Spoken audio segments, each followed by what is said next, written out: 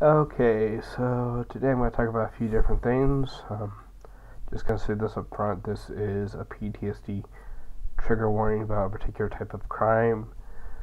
Um, if you have PTSD from that particular type of crime and you don't think you can handle people talking about it, uh, go ahead and turn the video off now because I'm going to get to that eventually. But, so what's going on is,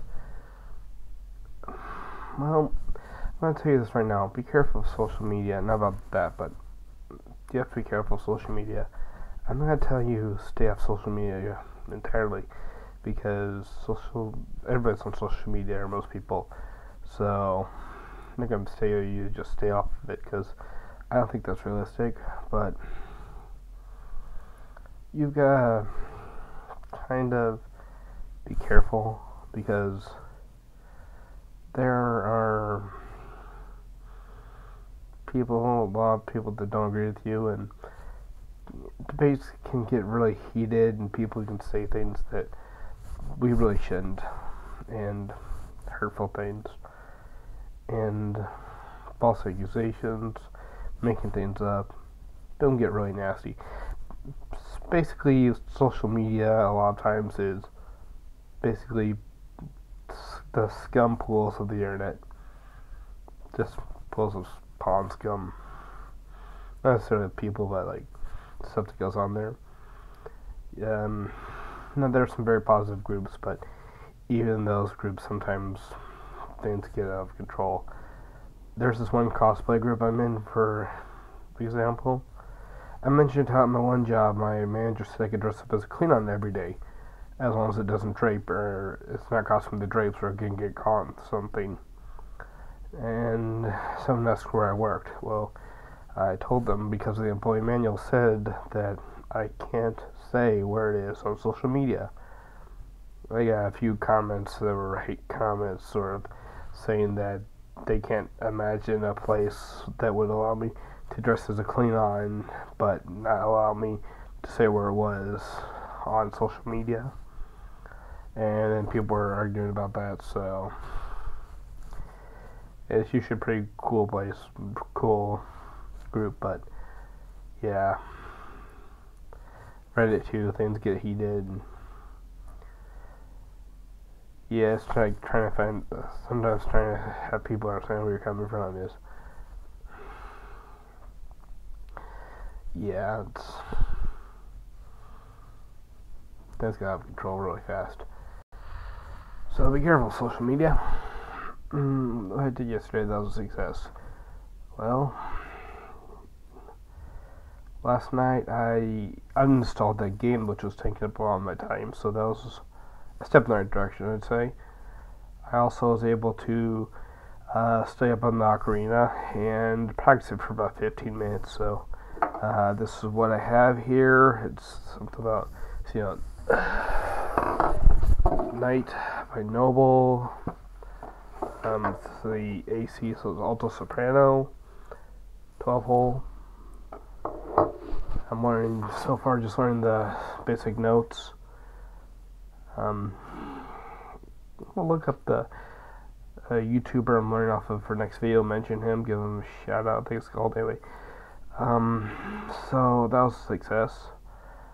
Um, as far as food addiction what you have to remember that I'm really learning is to give up soda is you may think you really need it and sometimes you can't do, but every time you indulge in that addiction, you're falling backwards. You're undoing your progress because you think, oh, you're satisfying a little bit. Well, you're actually working backwards because every time you indulge in that addiction, you're actually strengthening the neural pathways in your brain that make you think that that act, the for me drinking soda, is pleasurable. So you're actually making it so you crave it even more in the future. So that's gonna be difficult. Uh, starting tomorrow, I'm actually going to be uh, starting 18-6 intermittent fasting um, for the brain benefits because I have a goal for something to do by April 4th, video for April 4th, so look forward to that. Big one. Um, so there's that. Now, on to middle school. Well, for middle school, it was more bullying. Um, I can't remember exactly what it was. I remember one assignment, this wasn't bullying, but one assignment it was on making an atomic model, model of an atom in science class, and I decided to make uranium. So there were a lot of electron shells I had to make, which I thought was really cool, but I didn't get any points for trying to make something big, which I felt kind of robbed of, I guess. Um, there was a girl who kept dropping her pencil, and kids were making about fun of it, thinking she was doing something else under the table to me because she sat next to me. Um, kid, uh, there's one time a kid pushed me over when I was trying to tie my shoe. I was blocking him, yeah, because he'd been harassing me, so I was trying to get back at him. Blocking the doorway, he pushed me over, but I was blocking him because he was harassing me, getting back at him. Uh, there was another time I was walking the hallway, some kids were running, shoved me from behind, So I slammed into the locker, and uh, actually left an indentation on my arm. I hit the uh, lock on the locker, the locking knob, hard enough that actually imprinted on my arm. There was. Oh. Here's. I'm going to talk about this the trigger warning, so. I'm going to put my finger up now when I start talking about it and when I stop talking about it, I'm going to take the finger my finger off. So, heads up if you want to mute it. Okay. So, one day after school, I can't remember. I think my mother was picking me up from um, the bus. Like I think I was on the the bus or something. Or maybe it was me bored. They take me off. But anyway, I think my mother at that time was pick, picking me up. Anyway, I was walking down the stairs, middle flight. I was about halfway down towards the middle, the bottom set, towards the middle floor of the office. And this kid was walking up and locked eyes with me, and I just was paralyzed with fear. He was walking up. He reached around and grabbed my uh, right buttocks and just rolled his eyes and back of his head and go went and I was scared. I really was. It was like I could feel his hand and not feel his hand at the same time. It was like I couldn't comprehend the sensation. And I was just scared. So he walked around to the right side of me, I think it was, and walked up the stairs. So at the right or left, anyways. He walked up the stairs, and I just watched him.